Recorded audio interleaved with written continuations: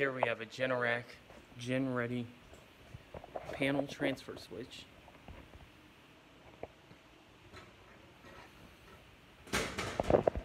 As you can see, it comes pre-labeled.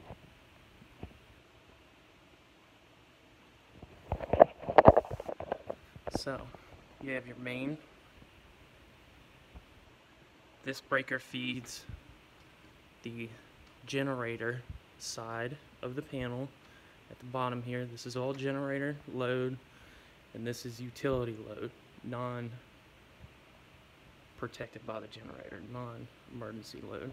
So, this breaker here actually feeds the generator. So, generator feeds power back through this breaker. When power fails, this mechanism swings around, hits these armatures, pushes that breaker over, which in return removes utility power, causing the generator to power the load.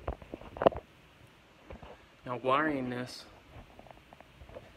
is not as easy as it seems, but Southwire has come out with a cable that has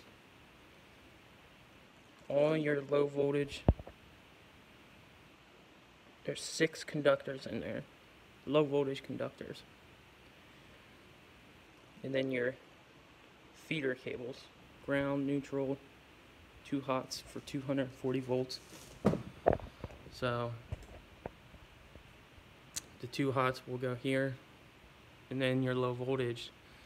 This breaker here is your sensing breaker.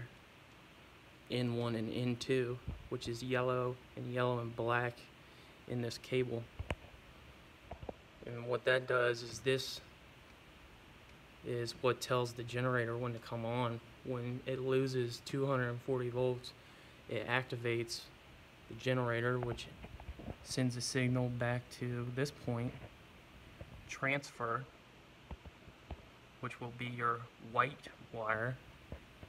And then of course, battery positive is red, battery negative is black.